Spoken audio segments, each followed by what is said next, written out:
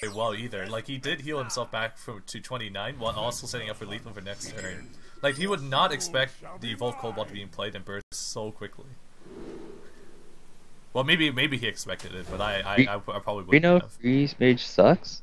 I don't know, man. Laughing was uh, rank one with it this uh, this season. With the evolved Kobold? No, not Evolve Kobold, but Reno Freeze Mage. Oh, So for a deck that sucks, apparently it's better than any other player than that plays in NA. You know, he that's is like in EU. He's an EU. He's an EU. Yeah. uh, laughing. Yeah. Well, okay, so Yeah. apparently it's just better than anything that's in EU. Yeah.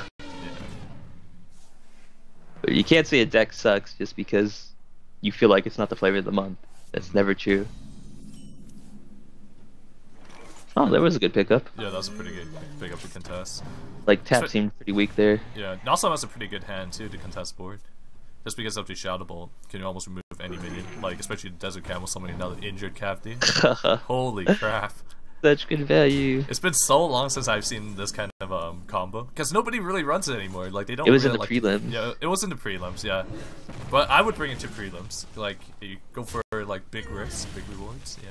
I mean, there's not that many decks that run one drops besides Zoo and Shaman, right? True. And if you're banning Shaman and Zoo, hmm you probably have a good time. Mhm. But no, he's banning Warrior because he's playing Freeze Mage, so it- it's quite interesting. He's going with that build, so he has to actually play against those decks that actually have one drops most of the time. hmm Even Tempo Mage could be a problem sometimes. Yeah, true.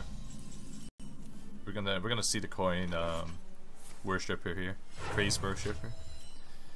Pretty hard to get through as well, unless the um, toad actually hits you one damage. But yeah, oh, he's not gonna lose any value from this. He's gonna go. But I kind of just like using a kill command here. Like you lose no value. Like your injured Kvaldir is just a, a two-one Yeah, it's a monster. It's a monster one drop. monster. But now the uh, he just turned on C'Thun or Twin Emperor, Mhm. which could be a bit scary. Yeah, But he's at 18. he is at 18. Yeah, at least he has Vek'lor, right? Vek'lor is already a pretty big deal. Ooh, picking up the Earthen Farseer. Uh, but I, I like playing the Not Peddler instead, because yeah. it dies for free. It dies for free. You know, he might actually tap too, Yeah. depending on what he gets here. Oh, whoa, whoa, whoa! Whoa. Tournament attendee, sure. Tournament attendee is good. Yeah, take it. I like it. Oh yeah, look at that. So now we're gonna see a Kodo try to get that 50-50 to not lose the uh, huge toad. Mm -hmm. Another thing you could do, yeah, yeah, Houndmaster.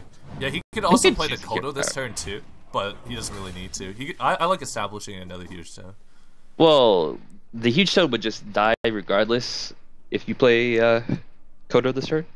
But I, I like being able to have the option to either develop the huge toad or hero power. Like I think both are fine. Yeah, I like another huge toad. Something you can trade with. So probably gonna see the Earthen Farseer plus half come down this turn. He's, He's choosing to play the Earthen first. Farseer first, is so he's gonna attack with the huge toad. But I, I think maybe you want to do a tap first, then you have the potential to actually get like Shadow Flame or Hellfire. hmm Interesting. So he chose to Sunfury instead, so forcing a trade. Okay. Huge toad, and then probably yeah the, the Mhm. Kodo this turn Yeah, because yeah, now Kodo first. hero power. Yeah, Kodo first. Don't miss out that one damage, and then yeah, that's pretty good. He's, he's making sure he's playing in the proper ordering. hmm He does have 93 points. That's a lot of points. Yeah, so so he is kind of good. None of those missteps that we see frequently, uh, unfortunately. hmm How is he going to deal with this? He has a lot of options. So he's just gonna play Animal Companion. Well, now he has to trade in two minions. That doesn't seem too good. Yeah. Oh boy. So he's gonna end up. Maybe he just attacks into one and just passes his turn. Because I don't think you really want to trade in Hound Master plus Huffer into the second one. Sure. Power, which gives you a better trade next turn. Because like, the only good trade that Nostdam would have is to attack into the Kodo. Yeah. But then it, it dies. Then then the Twin Emperor dies to the weapon. And then you get to attack face for eight. So. Mhm. I mean, yeah. So he chooses to go hero power because he has the uh, kill command. So I guess Nostdam really needs to draw Reno here. Yeah. Oh, he is trading in both. Yeah. Not even giving him the option. Ooh, Siphon Ooh, Soul. Siphon Soul. Actually, that's That's pretty pretty good. Yeah. See if you get Reno first, then yeah. Yeah. Then Siphon. Soul.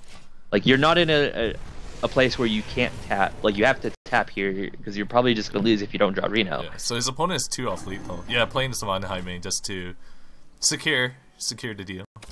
Secure the win, I mean. I like how he's leaving in the hero powers.